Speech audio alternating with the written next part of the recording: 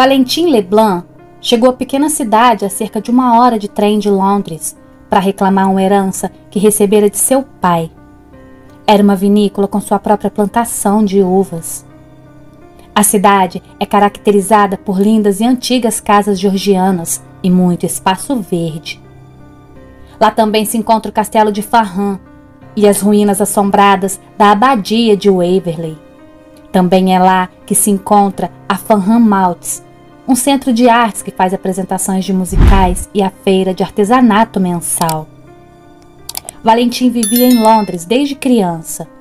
Sua mãe foi embora de casa devido à brutalidade com que seu marido os tratava. Mas, vez por outra, o pai visitava a família para ver seu único filho, já que não contraiu matrimônio com nenhuma outra mulher. Valentim havia recebido uma carta de um amigo de seu pai, que se chamava Hugo Carvan. Era ele também quem cuidava das finanças da vinícola. Como único herdeiro, ele deveria se apresentar para o funeral e depois esperar a leitura do testamento. A cidade havia mudado muito desde que se tornou ponto turístico por conta do castelo e da abadia assombrada. Senhor Carvan já esperava na estação do trem. Ele o reconheceu e foi recebê-lo. Olá, senhor Leblanc. Eu sou Hugo Carvan, o advogado e amigo de seu pai. Seja bem-vindo à cidade. Valentim apertou a mão do homem, um aperto firme que inspirava confiança. Espero que o senhor tenha feito uma boa viagem. Sim, senhor Carvan. A paisagem pelo caminho é maravilhosa. Foi muito bom poder higienizar a mente um pouco. Seu pai me falava muito de você. Ele sentia não tê-lo por perto. Mesmo depois que sua mãe faleceu, ele sonhava em vê-lo cuidando da vinícola. Até adquiriu mais terras e cresceu a plantação. Eu sei disso, Senhor. Ele me convidou para morar aqui, mas eu já tinha minha vida toda organizada em Londres. Não achei que fosse viável. Eu entendo. Uma cidade pequena como a nossa perderia em atrações para grande Londres. Valentim sorriu e respondeu explicando. Não é isso, senhor Carvan. Eu tenho a minha vida toda organizada. Meu trabalho não me dá muito tempo para sair e curtir com amigos, que diga-se de passagem, eu tenho muito poucos. Também não tenho muito conhecimento nesse negócio de vinhos, então simplesmente nunca me interessei mas o senhor herdou uma vinícola juntamente com uma plantação de uvas. O vinho que seu pai produzia aqui era da melhor qualidade, você sabia disso? Ele estava pensando, pois tinha muitas propostas para exportar. O que pretende fazer com sua herança então, senhor Leblanc? Não faço ideia, senhor. Sinceramente, não faço ideia. Mas vamos por partes. Vou prestar luto para o meu pai, depois eu vejo o que farei. Ambos entraram no carro que já os aguardava fora da estação e se dirigiram para a vinícola. No caminho, Valentim foi apreciando a cidade, que era bem pitoresca. Ela estava cheia, era temporada de turismo. E ao ver de Valentim, não seria tão ruim assim. Os poucos amigos que tinham até gostaria daquele lugar. Ele pensou que poderia tirar umas férias e convidá-los para passar uns dias ali com ele. Ao chegar na fazenda, Valentim foi recebido por um mordomo que recepcionou com cara de poucos amigos. Hugo Carvan deu ordens para que este levasse as malas de Valentim e preparasse seus aposentos. O senhor Carvan queria levá-lo para conhecer a propriedade, mas ele quis ver primeiro o corpo de seu pai. Havia uma pequena capela ali na propriedade, onde o corpo do pai dele estava e onde seria velado até ser levado para o mausoléu da família. Ele olhou o rosto de seu pai e pediu ao senhor Carvan que os deixasse sozinho. Este obedeceu e saiu fechando a porta. Valentim se aproximou do caixão, aborrecido por seu pai. Ele não acreditava que o homem estava morto. Ele parecia tão saudável quando o encontrou há duas semanas atrás. Ele então abriu o belo caixão com tampa de vidro e ficou observando o corpo de seu pai procurando sinais que indicassem uma parada cardíaca. Ele sabia que não encontraria isso, mas algo o incitava a fazer aquilo. Ele então abriu cuidadosamente seu terno e uma coisa lhe chamou a atenção. Havia um corte costurado de qualquer jeito no peito do pai dele. Na verdade, era uma costura grotesca. Mas o que foi que aconteceu com você, meu pai? Ele pensou.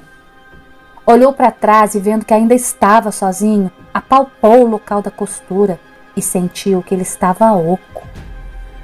Valentim, estranhando, abriu a camisa do homem e, tirando um canivete de seu chaveiro, foi friamente rompendo aquela sutura. Sua respiração foi se acelerando na medida em que cada ponto era violado. O que ele viu o apavorou. Havia um bolo de gases no lugar onde deveria estar o coração de seu pai. Estupefato, ele tentava entender o que se passava ali, quando uma forte batida na porta o assustou. Era a voz do senhor Carvan lhe chamando a atenção. Senhor Leblanc, está tudo bem? Ele fechou tudo da melhor maneira que pôde. Abotoou as roupas de seu pai procurando deixar perfeitamente como estava. Ainda com o peito acelerado, fechou o caixão, prometendo mentalmente descobrir o que havia acontecido ao homem. Ele saiu da capela sério e Carvan notou a diferença na fisionomia do rapaz. Tá tudo bem com o senhor? Não muito. Ele deu alguns passos em silêncio e depois continuou.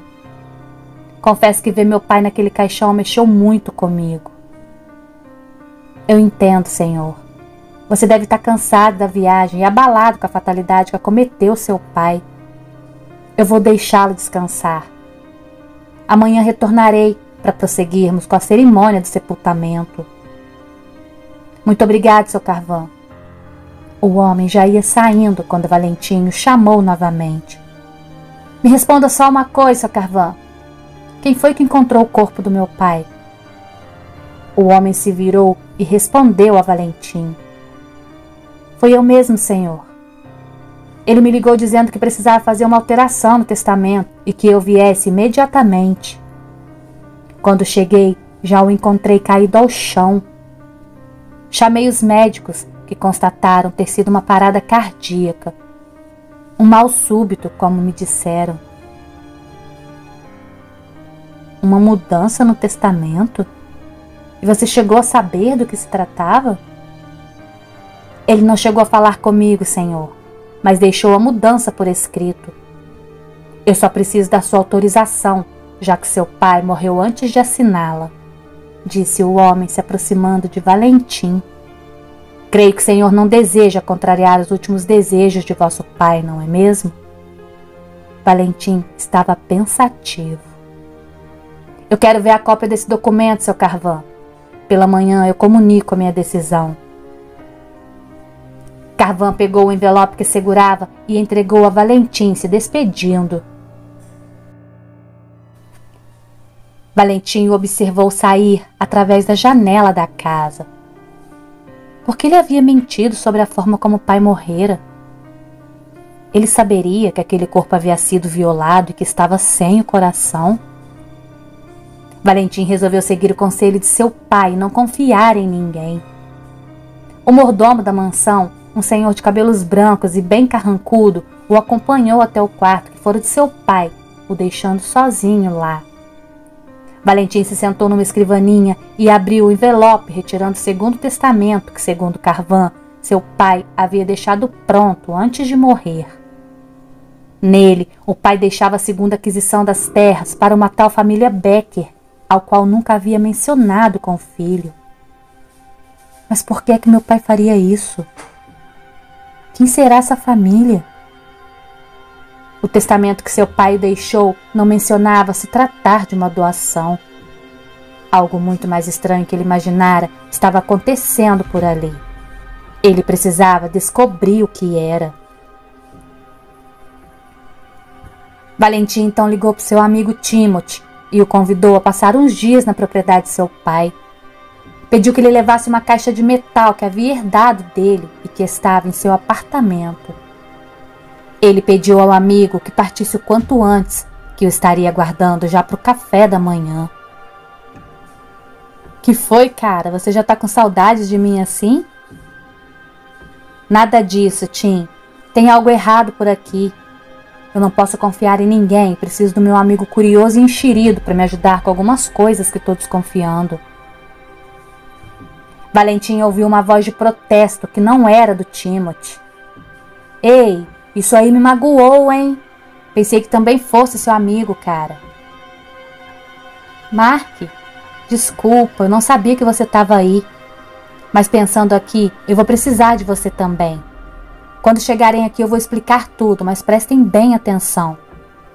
Você, Mark, não vai vir para a propriedade, vai se hospedar num hotel. Eu deixarei tudo pago vou mantendo contato, entendeu? Claro, será como nos velhos tempos, respondeu o amigo do outro lado da linha. Valentim desligou o telefone e se recostou na cadeira, pensativo. De repente, um grito cortou o silêncio da noite na propriedade. Valentim desceu as escadas da mansão correndo e encontrou uma empregada chorando, apontando para o lado de fora. Ele correu e percebeu que havia um vulto de pé no meio do jardim que ficava à frente da casa. Ao se aproximar, percebeu que era o advogado da família. Hugo Carvan estava preso e pendurado a uma estaca, com um buraco no peito por onde havia sido arrancado o coração do homem.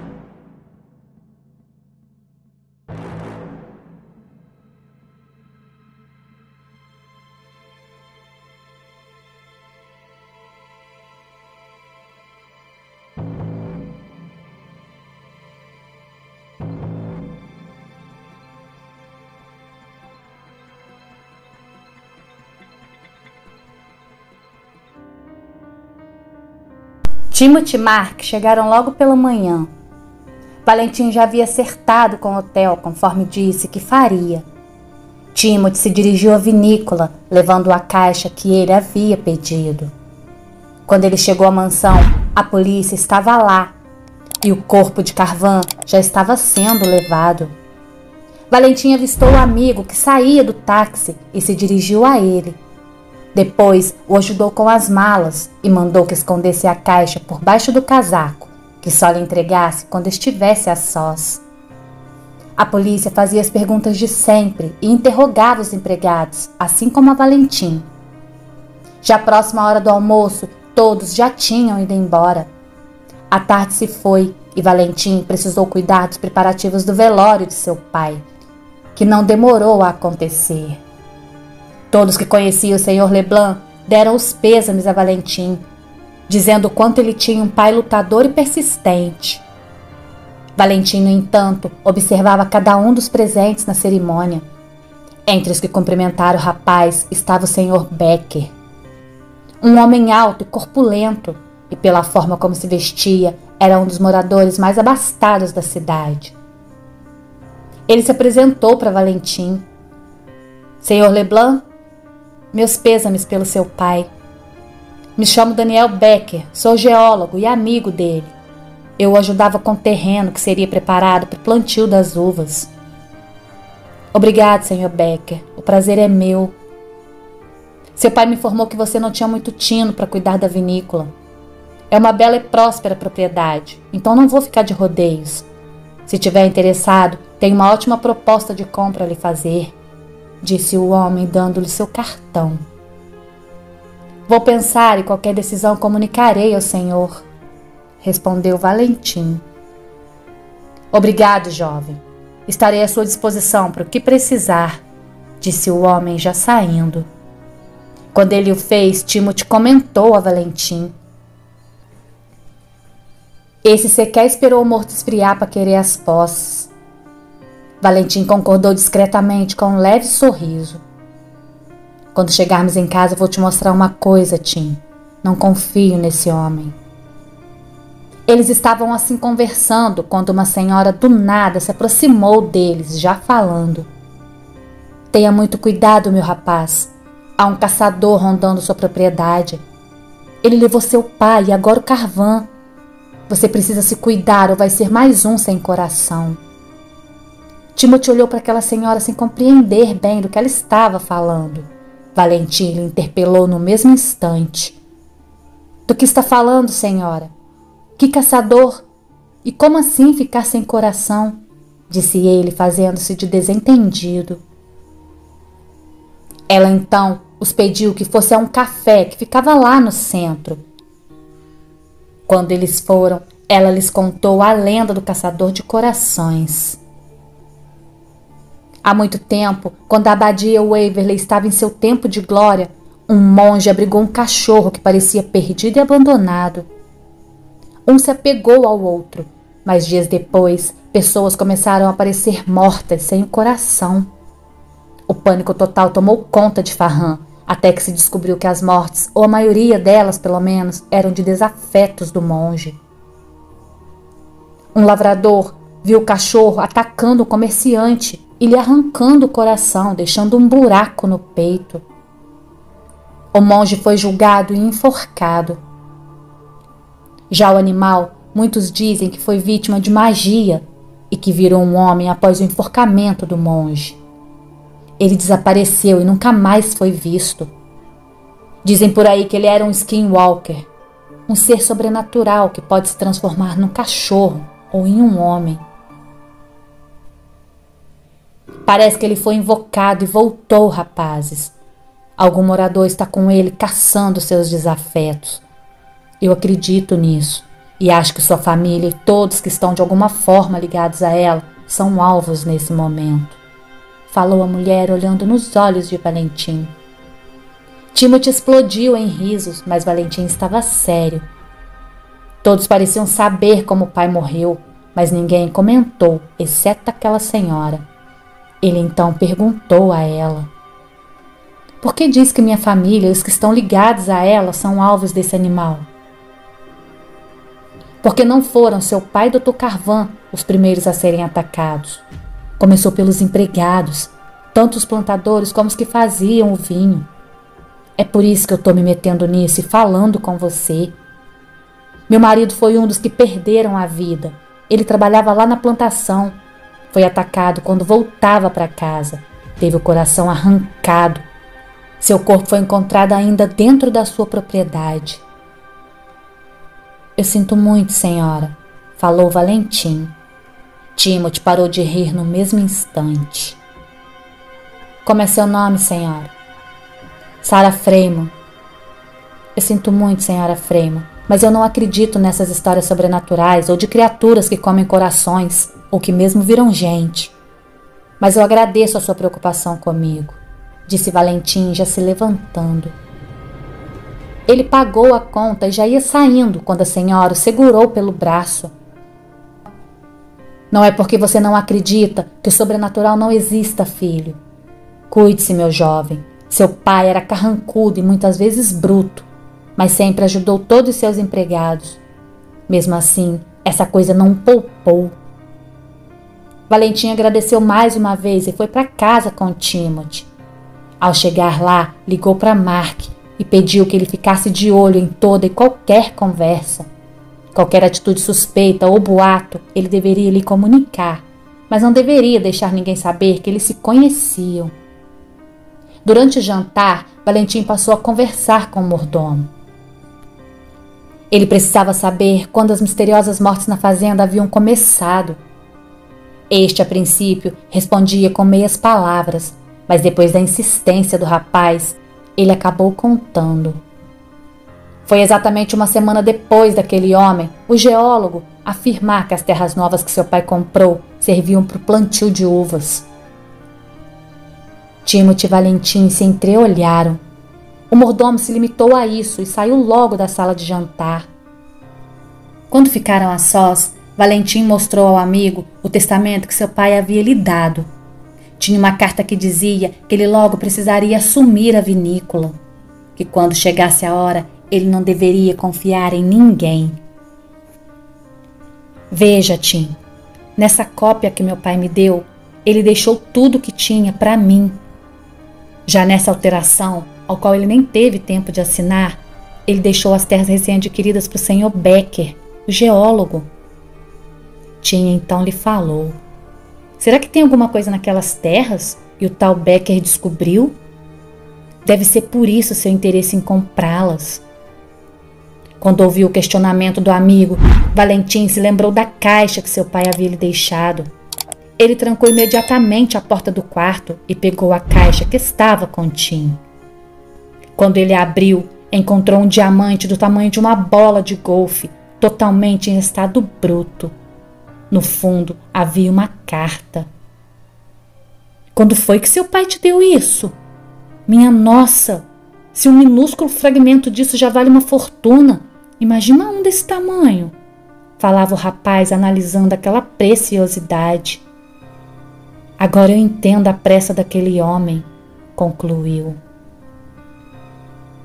Há duas semanas atrás, meu pai foi me visitar, Tim, e deixou essa cópia do testamento e a caixa comigo. Me fez prometer que eu só abriria caso algo acontecesse a ele. Disse que o testamento era original e que não mudaria nada nele. Me pediu também que quando eu fosse reivindicar minha herança, não confiasse em ninguém. É, teu velho estava sabendo ou desconfiando de alguma coisa, meu amigo. O que você pretende fazer? Ainda não sei. Mas de todas as pessoas que conheciam meu pai, a única que comentou sobre a forma como ele morreu foi a senhora Freeman. O resto dizia que foi uma parada cardíaca. Não é possível que toda uma cidade esteja envolvida nisso. Meu Deus, um complô para ficar com suas terras de diamantes? Valentim tirou a carta de seu pai que estava dentro da caixa e começou a ler. Vamos ver o que ele queria que eu soubesse. Na carta, o pai dizia assim: Meu filho, se você estiver lendo isso agora é porque o que eu temia realmente aconteceu. Eu estou morto. Portanto, preste bastante atenção no que eu vou te dizer. Essas terras que adquiri para aumentar a vinícola pertenciam aos Lewis estavam hipotecadas e eu paguei a dívida, ficando com as terras. Eu pedi ao Becker para avaliá-las. Como estavam apropriadas para o plantio, eu quis começar imediatamente. Porém, durante a preparação, um dos meus funcionários, o Freeman, encontrou esta pedra e trouxe a mim. Eu não quis tirar conclusões apressadas, então levei para Becker dar uma olhada e ele confirmou que se tratava de um diamante raro. Ele fez novos testes, fez vários estudos no solo em toda a área. Não há mais nada nas terras, mas isso foi o que ele disse. Desconfiado, eu chamei outro geólogo de uma outra cidade e ele me garantiu que há uma mina de diamantes por lá. Becker mentiu. Ele sabia da mina. Já não posso confiar em ninguém. E agora Parece que o Skinwalker de Waverly está de volta e rondando minhas terras, pois meus funcionários começaram a morrer com o coração arrancado. O Becker está propondo a compra da vinícola e o Carvan parece concordar com ele, dizendo que minhas terras estão amaldiçoadas. Ele diz que eu vou acabar sendo morto se não aceitar. Senti isso como uma ameaça. Os dois estão mancomunados. Tenha cuidado com eles, meu filho. Eu sei que você vai tomar a melhor decisão. Descubra o que está acontecendo de verdade. A princípio eu não acreditava que podia ser um skinwalker, apesar de estar começando a mudar a minha opinião. Tenho visto um cachorro rondando a casa tarde da noite. Eu sinto muito em estar envolvendo você nisso, mas a decisão em descobrir e seguir com isso adiante será somente sua. Sempre amarei você Valérios Leblanc. Ei, Val, você precisa ver isso, disse Tim da janela do quarto. O rapaz que acabara de ler a carta se levantou da escrivaninha e foi até a janela onde o amigo estava. Lá embaixo no jardim havia um cão da raça Doberman, olhando para cima, diretamente para onde os dois estavam.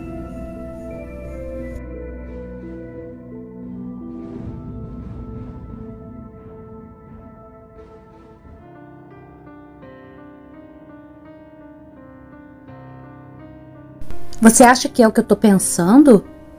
Perguntou Tim. Fala sério, é só um cachorro perdido. Deve estar nos farejando, já que não somos familiares a ele. Não temos o cheiro dos moradores comuns desta casa. Mas seu falecido pai, que Deus o tenha, acabou de mencionar na carta que deixou para você que há um cachorro rondando aqui. Timothy, é apenas um cachorro, só isso que ele é. Nem é seu perfil acreditar nessas coisas. Deve haver uma boa explicação para tudo que está acontecendo, menos que seja uma lenda sobrenatural. Do outro lado da cidade, Mark havia conhecido umas garotas no hotel que o convidaram para ir num pub local.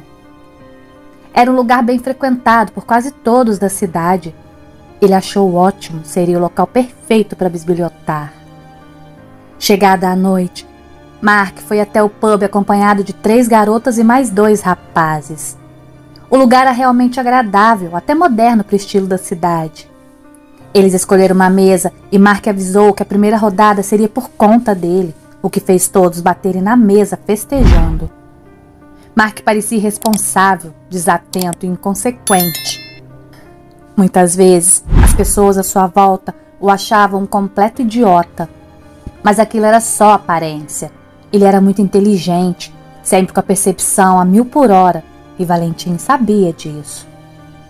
Ele havia passado com louvor no teste de observação da Scotland Yard, e assim que entrou no pub, já havia percebido e memorizado tudo à sua volta inclusive um casal que destoava dos presentes naquele ambiente. O homem estava vestido distintamente e a mulher usava roupas mais simples, como um chale em volta da cabeça e ombro. Estava mais no fundo, onde a luz era pouca. Percebia-se que ela não queria ser notada. A conversa foi ficando cada vez mais calorosa e eles agora pareciam começar a discutir. Mark puxou a garota que estava com ele e a levou para o canto, próximo bastante para ouvir aquela conversa. Ele começou a beijá-la e ela retribuiu, sem protestar. Mark pôs-se a ouvir o que o casal dizia. Você disse que seria fácil, que ele logo venderia a propriedade. Mas não, ele não me parece do tipo que se assusta facilmente. Para piorar, o sujeito não acredita no sobrenatural. Logo não vai embora daqui tão cedo. Calma, Lewis. Se ele não acredita, precisamos ser mais convincentes. Diz isso porque não é você que tem que sujar as próprias mãos. Aquela empregada quase me viu da última vez. E o cachorro, onde está? O deixei na propriedade. Ele vai ficar perambulando por lá, brincando com o imaginário deles.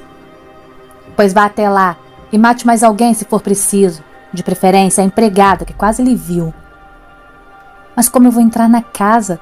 A essas horas já deve estar tudo fechado. O homem tirou uma chave do bolso do paletó e entregou à mulher, dizendo: Essas chaves são do Carvan. Essa pequena é da porta dos fundos, onde fica o quarto dos empregados. Seja rápida. Becker, seu macaco velho, nem quero imaginar como conseguiu essa chave. Espero que dê certo. Estou cansada de esperar. A mulher saiu se desviando dos jovens, alegres pelo álcool. Mark avançou mais um pouco, apalpando a garota que o empurrou e lhe esbofeteou, saindo em seguida. Becker se levantou e deu um tapinha nas costas dele, falando sorrindo. Vai com calma, rapaz, ou vai terminar sua noite sozinho. Mark ergueu uma garrafa de cerveja e lhe respondeu: Eu nunca estou sozinho. Se tiver minha cerveja. Becker gargalhou e antes de sair lhe disse: Cuidado com o Skinwalker quando estiver sozinho com a sua cerveja. Na mansão, Timothy e Valentim não estavam conseguindo dormir depois de terem visto tal cachorro. Timothy estava tão impressionado que não quis nem dormir no quarto dele improvisou uma cama na de Valentim. Preferiu dormir por lá. A noite estava quieta. Valentim fechou os olhos e começou a ouvir os sons da casa, ele então pensou ter ouvido algo vindo do andar de baixo e ficou atento. Se levantou da cama que estava enquanto o amigo lhe perguntou, quase num sussurro: Onde você vai? Ficou louco? Vai sair do quarto com aquele animal lá fora? Você também ouviu, Tim? Parece que vinha da porta dos fundos. Sim, eu ouvi. Mas se for aquele cachorro, vai estar riscando sua vida. Você devia se escutar, cara e ouviu o absurdo que está falando. Somos detetives, Tim, treinados pela Scotland Yard. Não há lugar para essas crendices no nosso trabalho. Depois de um silêncio, o amigo lhe respondeu: Tem razão. Eu vou com você, você pode precisar de ajuda, disse ele, se levantando. Valentim sorriu e abriu a porta bem devagar. Os dois saíram do quarto e desceram lentamente as escadas, quando de repente um som de ossos se quebrando os direcionaram para a cozinha. Eles chegaram a tempo de ver uma pessoa de preto sair pela porta dos fundos, segurando algo. Mas ao tentarem se aproximar, ouviram um rosnado atrás deles. Quando se viraram, aquele raivoso cão que estava do lado de fora agora estava à frente deles, com os dentes à mostra rosnando. Estava mais do que claro que ele os atacaria ao sinal do primeiro movimento. Timothy então se colocou à frente de Valentim e lhe falou: Vai, eu seguro ele. Valentim saiu rapidamente pela porta dos fundos e viu o vulto indo na direção da capela. Ele correu atrás e este desceu por uma floresta íngreme que ficava na lateral da igreja. Valentim notou que havia um carro esperando numa estrada que passava logo abaixo. Ele então correu para pegar o invasor antes que esse alcançasse o veículo. Lewis corria desesperada. Ela não esperava aquilo do rapaz, esperava que ele estivesse em pânico. Mas ele a estava perseguindo. Ele daria muito trabalho a ela. Bem que ela tinha avisado aquilo ao Becker. Ela corria perdida em seus pensamentos quando algo atingiu sua testa com tanta força que ela caiu sem sentidos no chão. Mark saiu de trás de uma árvore com um pedaço de madeira nas mãos e Valentim parou ao lado dele, dizendo: Como é que você sabia? Eu os vi conversando no pub e resolvi segui-la. Como nos velhos tempos, meu amigo. Os dois riram e Valentim tirou o capuz da cabeça do invasor, que ainda segurava o coração preso a um objeto que ele não soube identificar.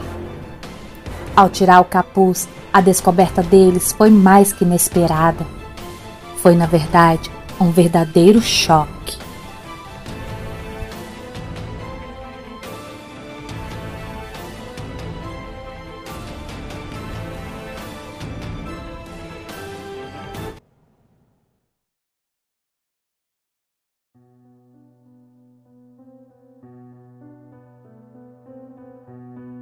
Fala, meus amigos!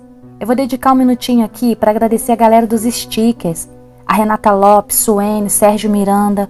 Eu não estava online no chat, mas eu sempre vejo quando eles entram. Então, obrigada mesmo, viu? De coração.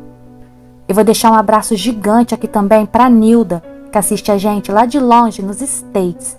Somos international, tá pensando o quê? Abril tá muito especial com a volta programada da Martina do Cavaleiro Negro além de todas as outras coisas legais que a gente está colocando na grade para trazer para vocês. Então, aquele beijo especial para cada um que me faz companhia diariamente aqui. Eu conto sempre com vocês. Uma mulher? Mas como isso é possível? A força, a agilidade dela. Se nós não fôssemos treinados como fomos, eu sequer alcançaria. Eles ainda assimilavam a situação quando ouviram dois tiros vindo da casa. Valentim falou muito preocupado. O Tim, ele ficou sozinho com o cachorro. Que cachorro? Todos acham que há um cachorro aqui que se transforma em humano, um skinwalker. Mas que história louca é essa, Val? Depois eu te explico, precisamos voltar. Você volta eu vou garantir que essa aqui não vá a lugar algum. Está bem, Mark, mas se cuida. Pode deixar, detetive. Eu sempre me cuido. Valentim subiu quase engatinhando de volta para casa.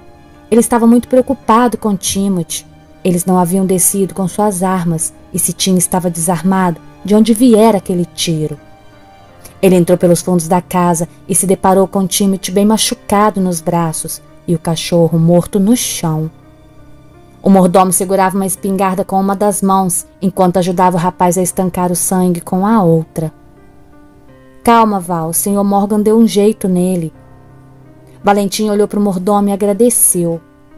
Ele deixou os dois lá e voltou para onde estava Mark. O coração dele quase saltou pela boca quando viu seu amigo desmaiado ao lado do corpo da invasora, que agora estava morta, com o coração arrancado.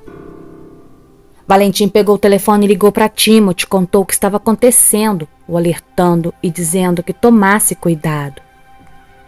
Ele arrastou Mark para cima enquanto Timothy chamava a polícia.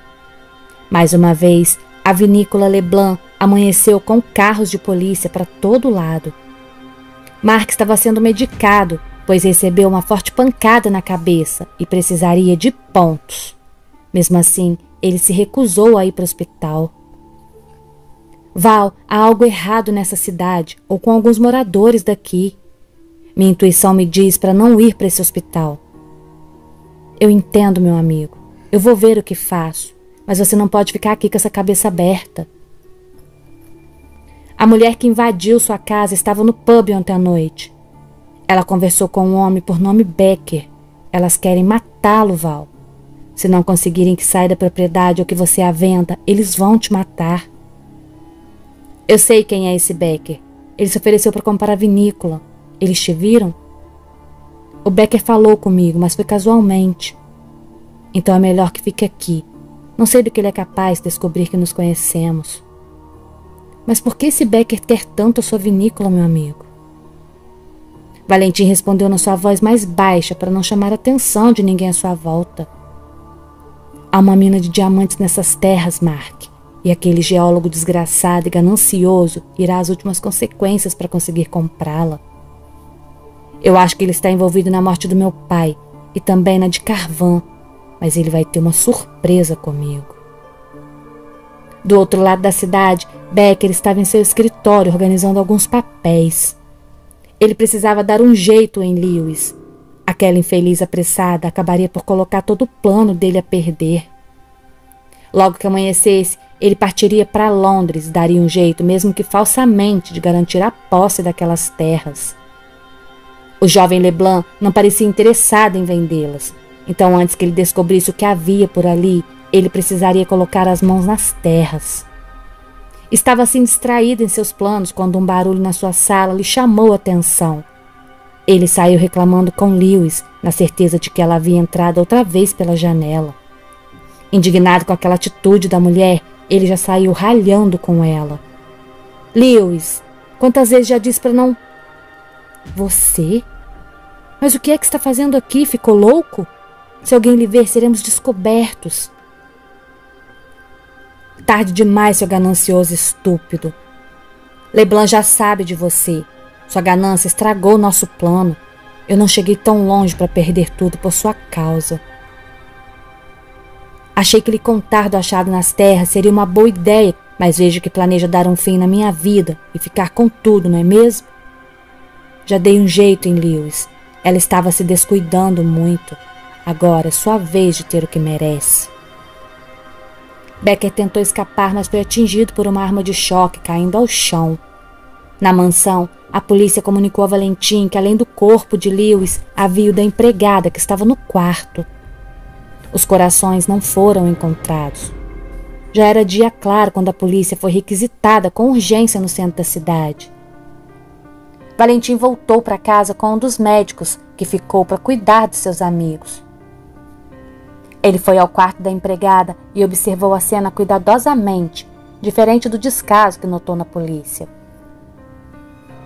Foi quando ele percebeu que na parede onde a cama estava encostada havia uma letra escrita com sangue. Era a letra M. Provavelmente uma pista. Seria o nome do assassino? Ou pelo menos a primeira letra do nome dele? Valentim tirou uma foto para mostrar para seus amigos. Quando saiu do quarto, se deparou com o mordomo, senhor Morgan, que voltava com pães frescos e uma novidade. Já soube o que aconteceu na cidade, senhor Leblanc? Não, mas vi a polícia sair com pressa daqui. Foi o senhor Becker, Encontrar ele amarrado a uma árvore com um enorme buraco no peito, sem o coração. Valentim ficou surpreso. Se Becker estava morto, então não era ele que causava as mortes. Então quem poderia ser? Isso realmente foi inesperado. Seja lá quem for que está causando isso, não deve gostar mesmo da minha família. Ele falou ao mordomo. Seu pai não era uma má pessoa, senhor Leblanc. Essas coisas que andam dizendo dele não passam de boatos mentirosos. Me diga uma coisa, Morgan. O que você sabe sobre as terras que meu pai adquiriu? Eu sei o que todos sabem, jovem. Que as terras pertenciam aos Lewis, mas eles perderam para o banco. Como são vizinhos do seu pai, ele comprou as terras depois de pagar a dívida. Mas ele ainda deu um bom dinheiro a eles para recomeçarem suas vidas. Meu pai fez isso, foi? Nossa, não parece o velho que eu conhecia. É como eu disse, seu pai não era uma má pessoa. Eu vou preparar o café da manhã para o senhor e seus amigos, já que estamos sem empregada agora. Como assim? Cadê a cozinheira? Ela pediu as contas. Tá com medo do Skinwalker. Nossa, vocês acreditam mesmo nisso, não é mesmo? O senhor não? Ele está caçando todos os que estão próximos ou pertencem à sua família, e mesmo assim você não acredita? Eu sei que quem está matando essas pessoas não é uma criatura sobrenatural, Sr. Morgan. O homem assentiu com a cabeça e foi preparar o de jejum dos rapazes. Valentim foi até o escritório do pai e sentou-se em uma cadeira giratória. Ele se balançava pensando: Vamos, pai, o que eu deixei passar. Carvan, Becker, Lewis, se bem que a última cuspiu no prato que comeu, mas os outros dois diziam ser seus amigos. Valentim remexeu os papéis na mesa e se deparou com um post-it. Nele, mais uma vez, estava escrita a letra M. Parece que você também ficou num beco sem saída, meu pai. Valentim estava dessa forma quando algo chamou-lhe a atenção.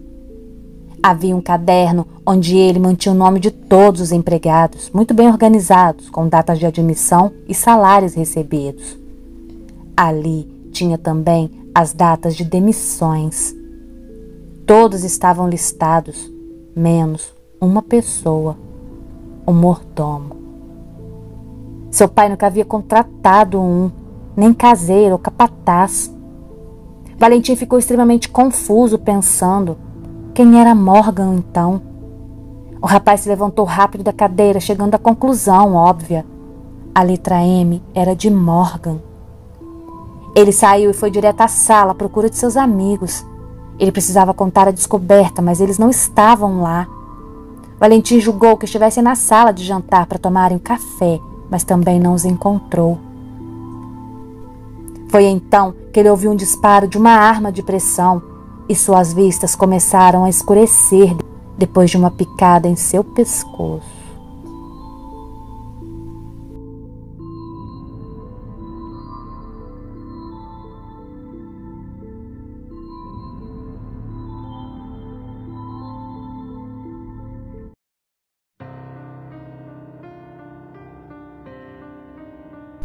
Quando acordou, Valentim estava amarrado no meio de uma das plantações de uvas.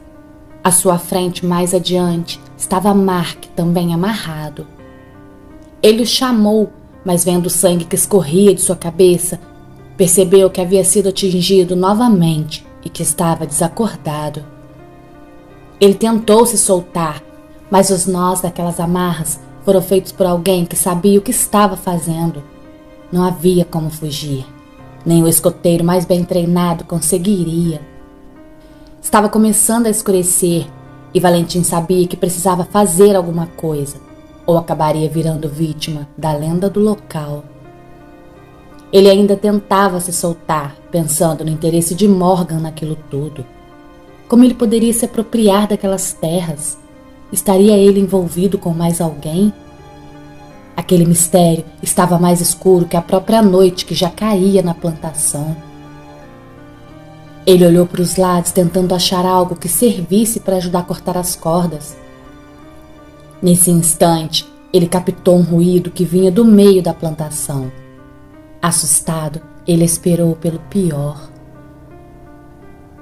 Porém, a pessoa que saiu da mata deixou Valentim ainda mais confuso. Stacy? A jovem que saíra dali era a namorada de Mark. Ela andava furtivamente entre as folhas, pedindo em sinal que Valentim fizesse silêncio. Os olhos dela eram de pânico, mas ela caminhava com coragem. Ela foi até seu namorado, que estava desmaiado, e tentou cortar as cordas, mas parecia que ela não tinha forças suficientes para aquilo. Então ela caminhou olhando para todos os lados, temendo fazer ainda mais barulho que fazia, e foi na direção de Valentim. Ela empenhou a mesma força que fizera em Mark, e nada. Valentim a ajudava como podia, mas ela seguia pedindo silêncio a ele. Finalmente, o canivete cortou a corda do rapaz. Como nos achou? O Mark me convidou para vir junto, Valentim. Ele não falou para Timothy, porque você sabe como ele gosta de mim, não é mesmo? Eu cheguei um dia depois que ele na cidade. Mas como sabia que estávamos justamente aqui, Stace? Você conhece a intuição de Mark. Ele me instruiu antes de vir para cá, depois de um teatro que nós fizemos no pub da cidade. Caso ele não me ligasse, eu deveria vir aqui checar o que estava acontecendo. Valentinha sentiu e logo se viu solto. Ele foi até Mark para ver como o amigo estava. A cabeça do amigo estava mesmo machucada, mas não parecia tão grave. Ele está bem, Val? Ele precisa de um médico, Stacy. Os dois ainda estavam abaixados próximos a Mark quando ouviram mais um movimento na plantação. Valentim voltou para o lugar onde estava e ordenou à garota: Depressa, Stacy. Me amarre novamente, como você conseguir mas deixe o canivete. Vá por aquele lado e chame a polícia. Se esconda, tenha cuidado. Ele lhe pediu. Ela então saiu como ordenada, tentando ao máximo não fazer barulho. Do lado oposto ao que ela saíra, chegava Morgan. O mordomo armado ergueu Valentim, levando de volta à casa. Por que você está fazendo isso, Morgan? Quais são suas motivações? O falso mordomo parou por um instante e depois continuou empurrando o rapaz. Não é nada pessoal, senhor Leblanc, mas seu pai não podia ter adquirido nossas terras. Valentim lhe interrompeu. Não eram suas terras, a menos que você não seja quem diz ser, a menos que você seja um Lewis. Um silêncio pairou. Morgan abriu a porta da mansão e empurrou Valentim para dentro. É isso, não é? Você é o senhor Lewis, ex-dono das terras que meu pai comprou? Sim. O senhor é bem esperto, pega tudo muito rápido, exatamente como ele falou. Valentim olhou para o mordomo e perguntou: Ele? Mas ele quem? De quem é que o senhor está falando? De mim, Val. Ele está falando de mim. Tim? O que está acontecendo aqui, cara? Onde você estava? Eu temi que tivessem matado você também. Sabe, Valentim, falou o amigo se aproximando dele, ainda caído no chão. Chega a ser patética essa sua confiança em mim. Ainda não deu para ver que eu não sou nenhuma vítima?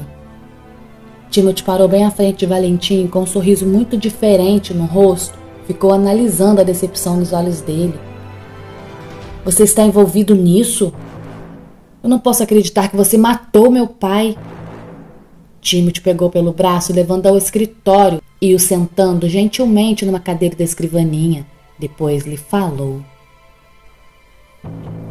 Tudo será explicado assim que você assinar o testamento e concordar com os termos. Valentim olhava incrédulo o documento à sua frente.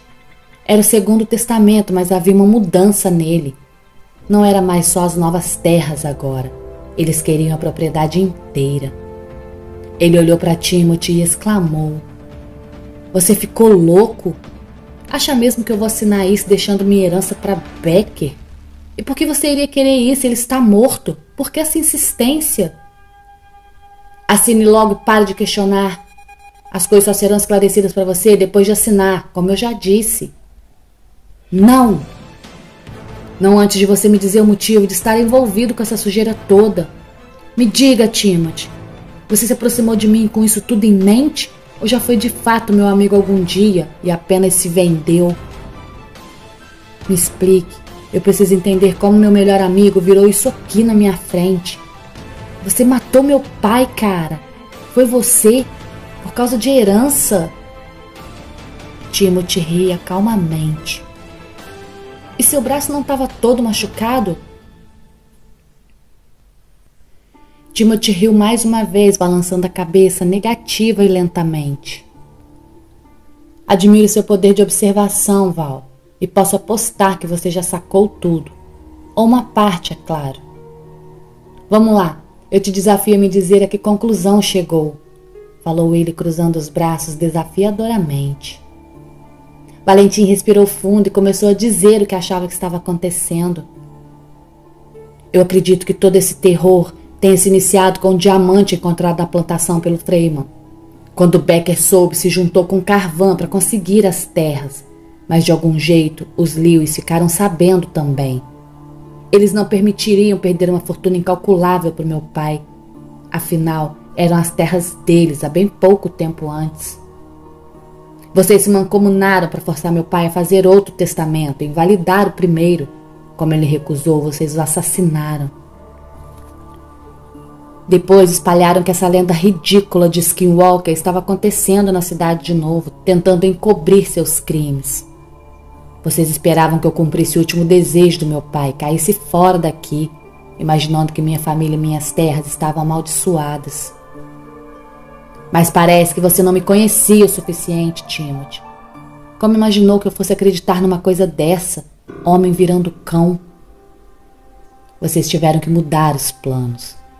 Mas a frustração disso e a ganância foi consumindo cada um de vocês e então começaram a se matar. Eu só não sei onde você entra nessa história. Morgan começou a aplaudir Valentim, que narrava os fatos de acordo com sua perspectiva. Timothy ria dos aplausos daquele falso mordomo e então falou a ele: Tá vendo, pai? Não disse que ele é bom? Sempre foi o primeiro da turma. Valentim estava boquiaberto. Pai? O Morgan é seu pai? Sim, sábio amigo. O mordomo do teu falecido pai é meu progenitor. Ele não é o mordomo. Meu pai nunca contratou um. Você se infiltrou aqui para matá-lo, não foi? Falou Valentim furioso. Eu precisava manter o carvão na linha, antes que ele desse com a língua nos dentes. Aquele frouxo quis tirar o corpo fora logo que a morte de seu pai e de Frame aconteceram. Então foi você, seu maldito velho ganancioso, que matou eles? Não tinha intenção, mas seu pai era teimoso como você parece ser. Então já lhe adianto, garoto. Terá o mesmo destino de seu pai se não assinar esse documento. Valentim olhou para Timothy perguntando, tentando apelar para os anos de amizade. Por que isso, Tim? Eu pensei que éramos amigos, éramos uma dupla dinâmica. Sempre confiei tanto em você. Se serve de consolo, também sinto muito por isso. Eu gostaria realmente que seu pai tivesse assinado o documento, que tudo isso tivesse sido evitado. Quanto ao porquê, seu pai descobriu a fortuna que havia nas nossas terras e só por isso as comprou, porque ele sabia que não produziria nada ali. Depois, ele tentou nos afastar com míseros trocados. Nós apelamos, tentamos reavê-las, mas é claro que ele não venderia. Então, por anos, meu amigo, nós planejamos uma forma de tê-las de volta. Foi assim que eu fui para Londres, para a mesma faculdade que você. Minha missão era me tornar o seu melhor amigo até no mesmo curso de investigação eu entrei, lembra? Eu precisava ser sempre presente na sua vida. Dessa forma, eu saberia tudo o que se passava com vocês. Não era justo o que acontecia com a minha família, Valentim, enquanto você nem ligava para isso aqui. Essas terras tornaria vocês pessoas bilionárias enquanto meus pais caíam na miséria. Mais uma vez o silêncio tomou conta da mansão. Depois de um tempo, Valentinho quebrou. Mas por que passar para Becker se as terras eram suas? Becker é meu tio por parte de mãe, Valentim. A ideia de passar para ele é não levantar suspeitas. Valentim ouvia tudo aquilo sem crer que por todos aqueles anos havia sido enganado por Timothy. Ele já tinha memorizado o escritório, procurando uma forma de escapar. Não adianta, Val. Não se esqueça o quanto eu te conheço. Assine logo os documentos e vamos acabar com isso. Os olhos do que antes eram tão amigos se cruzaram e Valentim pareceu fuzilar Timothy. Nesse momento, porém, todas as luzes se apagaram, deixando eles no completo breu. Valentim se soltou das cordas e saiu do escritório, levando o documento com ele. Pelo caminho, o rasgou. Depois se prostrou à porta, esperando para atacar o primeiro que saísse. Morgan saiu afoito, tentando acender a lanterna, mas Valentim puxou para longe, dando um mata-leão que fez perder os sentidos. Depois o amarrou com a corda que estava em seu corpo, o amordaçou usando um lenço que trazia no bolso. Timothy fechou a porta do escritório pedindo que Valentim voltasse para lá, mas logo um som estranho começou a ecoar dentro do cômodo. Estranhando, o rapaz perguntou: Quem está aí? De repente, uma das estantes, que antes parecia presa às paredes, foi ao chão, quase matando ele de susto. Valentim foi até a porta usando a lanterna que pegou do falso mordomo. Lá dentro, Timothy olhava desesperado para todos os lados, tentando ver quem estava com ele. Uma cadeira foi arrastada e jogada para longe. Os olhos de Tim se arregalaram, sua espinha gelou quando ele ouviu um rosnado por trás da mesa. Timothy não esperou um minuto sequer e correu desesperado pela porta, encontrando-se com Valentim. Este o desferiu um soco no meio das fuças que lhe fez quebrar o nariz. O rapaz caiu agonizando no chão, mas Valentim não teve piedade. Ele se jogou em cima de seu ex-amigo e o amarrou, não se importando com a dor que ele sentia. Timothy chorava feito criança assustada. As luzes então voltaram e com ela a gargalhada de Mark, que quebrou o silêncio do lugar. O rapaz se ajoelhou perto de Timothy e falou a ele: Eu não posso acreditar que você acredita nesse tipo de lenda, cara. Valentim olhou para o amigo ainda machucado e respondeu: Como nos velhos tempos. Verdade, meu parceiro, respondeu Mark a Valentim como nos velhos tempos antes desse aí aparecer. Aliás, eu sempre lhe disse que ele era estranho, não é? Disse Stacy, se juntando aos dois. Tempos depois, Valentim assumiu os negócios da família, se tornando um grande produtor de vinho. Ele não fazia pelo dinheiro, afinal, ele jamais precisaria daquilo. Ele acabou tomando foi gosto pela vinícola depois de uma temporada no lugar e de muitas horas de conversa com a senhora Freeman, uma eterna apaixonada pela produção de vinhos, assim como seu falecido marido. Foi daquela amizade com a mulher que Valentim conheceu a jovem linda e sonhadora Jordana, a sobrinha da senhora Frema, por quem Valentim se encantou à primeira vista. O rapaz se mudou para suas pitorescas terras em Farran e se dedicou àquela idílica vida a lenda de que o Skinwalker tinha voltado a Solafanhan tomou conta da cidade, mesmo os Lewis tendo sido presos. A abadia de Waverly é até hoje a atração turística mais visitada de lá.